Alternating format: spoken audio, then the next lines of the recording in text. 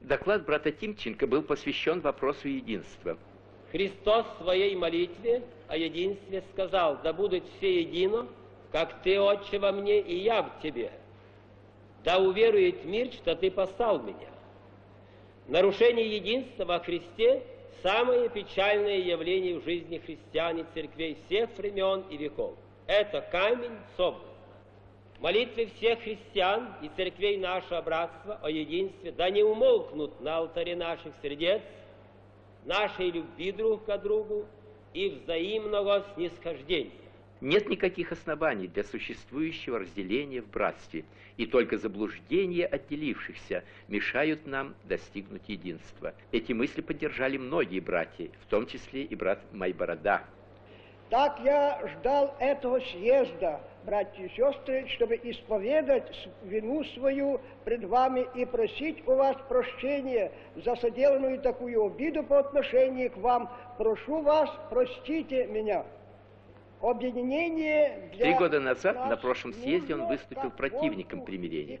Сейчас он осознал свою ошибку. Отнеслась ко мне, как родная мать, и все братья, впереди стоящие, они глазами любви на меня смотрят. Они так проникли в мое сердце, что я увидел истинную любовь, которая покрыла множество грехов моих и пороков. Да благословит нас Господь, дорогие братья, заняться этим примирением, молиться о нем. Съезд прошел благословенно. Он принял важные документы, среди которых резолюции о единстве и послание съезда ко всему евангельско-баптистскому братству в СССР. После многочасового обсуждения каждой кандидатуры был избран новый состав Всесоюзного совета евангельских христиан-баптистов. Доверие было оказано и старейшим, и молодым братьям. Полнота,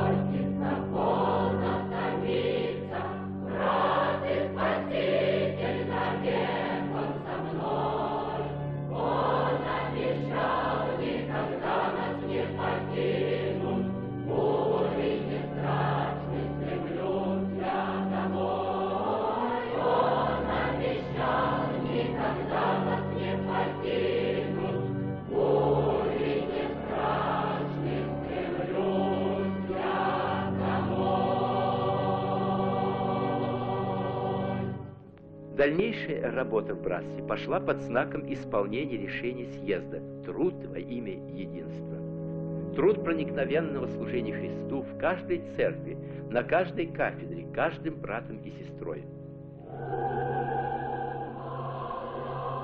Иди и проповедуй Евангелие не только словом, но и всей твоей жизнью. Твори добро и правду, и неси любовь и мир повсюду. Брат Освальд Тярк первый пресвитер Таллинской церкви Оливисты и второй пресвитер этой же церкви, брат Оскар Ольвик, несут верующим слова истины, напоминают им о любви к Богу и ближним и призывают всех христиан к единству и самой образцовой жизни в своей стране. meie võime ise palju head teha ja soovida, aga kui sellel puudub Jumala õnnistus, siis meie ütleme, et vaevalt see meid rahuldaks. isiklikult võin ütelda, olen üle viiekümne aasta oma armsa Jeesuse Kristusega kõndinud koos eluteed. tema on olnud mulle mu päästja tema on olnud mulle ülimaks elujuhiks ja et tema on mu viimne lootus, kui ma siit maa pealt kord ära lähen. sellepärast võin ma täna hommikul ütelda, Kristus on mu elu ja surm on mu kasu aamen.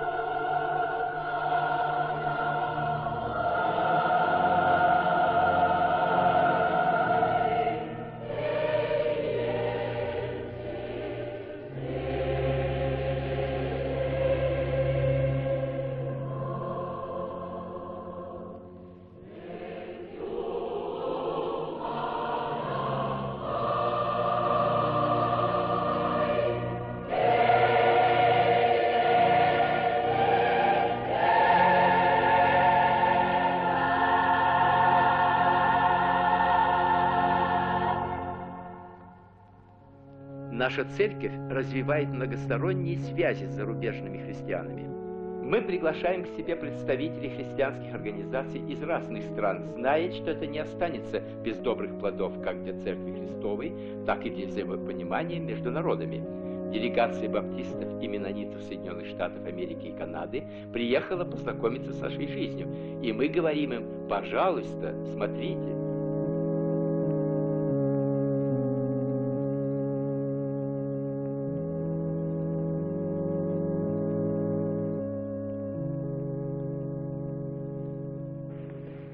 Господи, мы благодарим Тебя, что Ты нас собрал во имя Свое.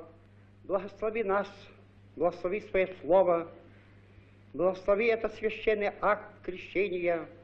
Пусть Твое святое имя будет благословенно. Аминь. Дорогие братья и сестры, сегодня мы испытываем особое волнение. Акт крещения – это священный акт, вызывает особое умиление. Я вижу здесь на лицах сестер дорогих, пожилых наших сестер, братьев, они вспоминают те благословенные минуты в своей жизни, когда и они совершали эту заповедь Господнюю.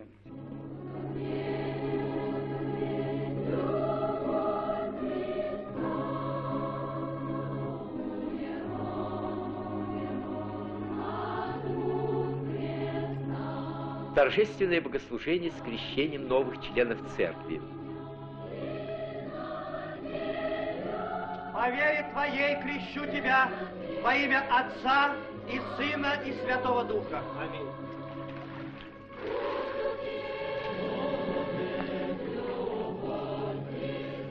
По вере Твоей крещу Тебя во имя Отца и Сына и Святого Духа. Аминь. За последние три года в наших поместных церквах крещено около 13 тысяч человек. По вере Твоей крещу Тебя во имя Отца и Сына и Святого Духа.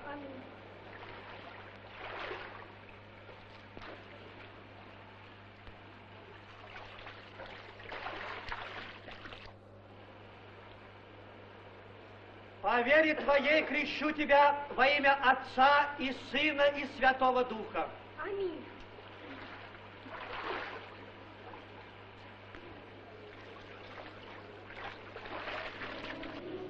Итак, совершилось то, о чем вы мечтали.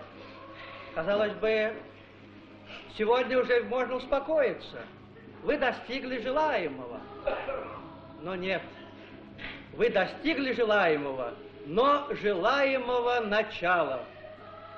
Это только обещание Богу служить доброй совестью. А показать это вся ваша жизнь.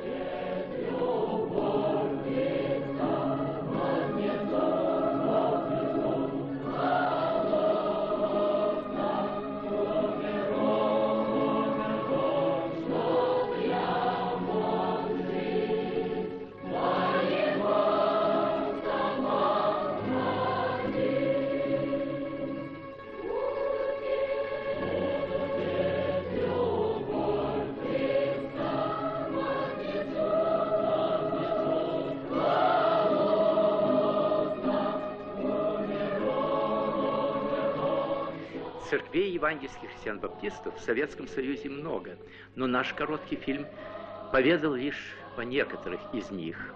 Мы старались показать из жизни наших церквей то, что является характерным именно для евангельских христиан-баптистов. Мы видели наши церкви на фоне развивающихся городов, что является свидетельством о том, что евангельские христиане-баптисты – в нашей стране не являются какими-то жалкими отшельниками, но наоборот, они горячо участвуют со всем нашим народом в строительстве новой жизни на э, основах социальной справедливости.